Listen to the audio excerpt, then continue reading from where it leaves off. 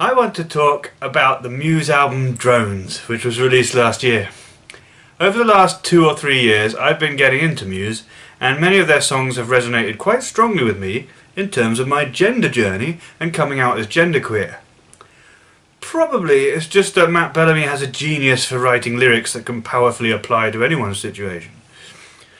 But Time is Running Out has been an important song for me, referring to me suppressing my femininity during my marriage and as I grew more aware of my transgender tendencies, knowing that the relationship needed to come to an end. Butterflies and hurricanes seemed to relate to coming out about being trans or genderqueer and knowing it was going to be tough in the future, but that I have to do it. My time is now. I must use this, this chance to be heard. And Supremacy on the Second Law album was relevant to me when I was feeling all feminist and wanting to smash the patriarchy like some genderqueer superhero. And then there's Explorers, which I know is about the environment, but I just can't help hearing the chorus in terms of gender. Free me. Free me from this world. I don't belong here. It was a mistake imprisoning my soul. So, on to drones. The surface layer of meaning is of course about war, with some relationship stuff thrown in. But although it is most certainly my own interpretation, and not necessarily intended by the band, though who knows, Matt Bellamy is a clever enough lyricist to have probably intended all kinds of layers of meaning.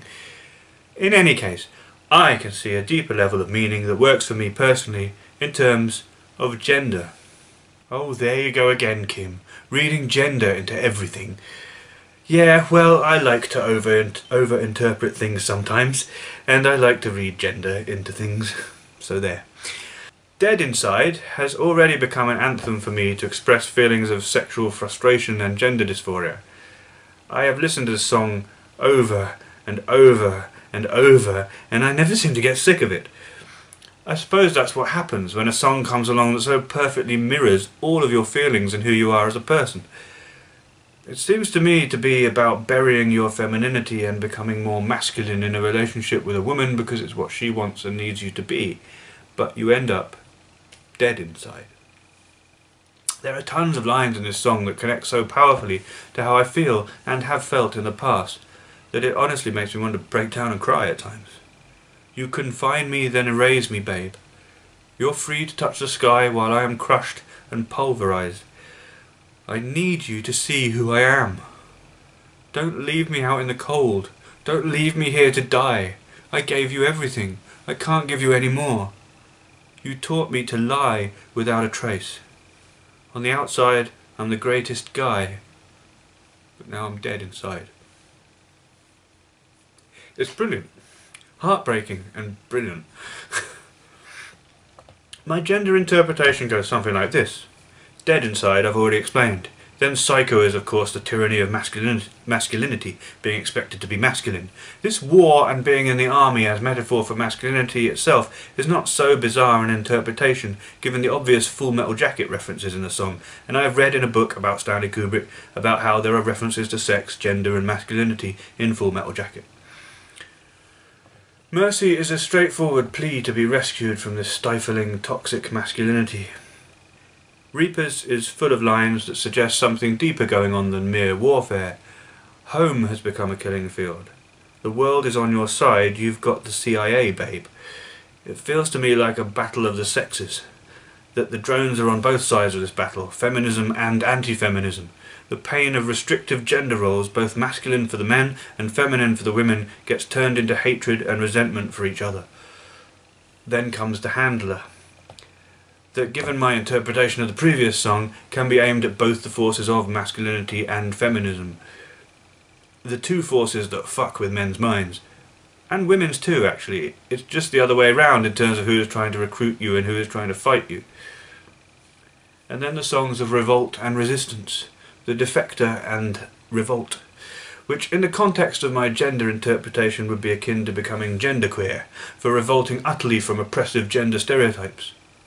But then we come to the part of the album which I feel in terms of embracing the femininity I've been craving all my life. Aftermath is a beautiful love song, but it's more than that. it's a coming home, a realizing who you are, and as the song itself says, where I belong. It's a sign of what could and should be. For me, it's a trans lesbian love song. My realization that it's always been all about women. I have craved femininity all along, both in my sexual partners and within myself. Femininity has been denied to me, and now I'm coming home and embracing it. And then the globalist. And here I need to reuni reunite my deeper gender meaning with the surface meaning of war for the song to truly work. On the gender level, it is a warning to myself. Don't eradicate gender. If it's femininity that you crave, you'll destroy the very thing you've been seeking. But it's more than that. All the agony, the pain, the dysphoria peppered throughout the entire album comes to a head here in a horrifying scenario of destroying the whole world. On the surface level, the protagonist and his lover are the only two people left alive, the whole world having been destroyed by nuclear weapons and so the album reaches its heartbreaking conclusion. Now, there's no countries left, no culture left, there's no one left to love. When he, or she, just wanted, just needed to be loved. Well, that's my personal take on the album. It's just my own interpretation, and the way I've found to appreciate what is certainly a stirring and powerful work of art. But like with all great art, each individual listener must find their own meaning and significance in the work. So please take everything I've said with a pinch of salt. I can't discuss the last track without also discussing the music on the album as a whole. Personally, I think it is phenomenally good and powerful stuff. A lot of heavy rock sounds on here. Reaper's Here Comes the Drones moment and the countdown apocalyptic middle section of The Globalist are especially heavy and Defector and Resist are rocking tracks of resistance. I can't help but think of The Who at their best. But emotional lyrics and piano-led balladry are also plentiful here, found pretty much throughout the entire album. When describing the album, the words emotional, spectacular and epic come immediately to mind. It's a feast of drama and excitement, catharsis and heartbreak. An emotionally fulfilling piece of work for sure. Even on happy rocking tracks like Defector, the lead guitar plucks at the heartstrings. Several moments on this album make me want to weep uncontrollably. It really is a very powerful album. Satisfying is another good word to describe it. You feel like you've had the musical equivalent of a three-course meal by the end of it. And yet, I still feel like I want to listen to the album all over again.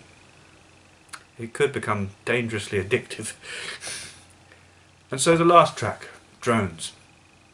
It's a classical choral type affair, like some kind of polyphonic chant. Very intoxicating, beautiful, and shows just how classy Muse are as a band. I love this album, love the band, and I cannot recommend it enough. So that's all really. Thanks for watching. And always remember, you can revolt. Just try not to blow up the world in the process.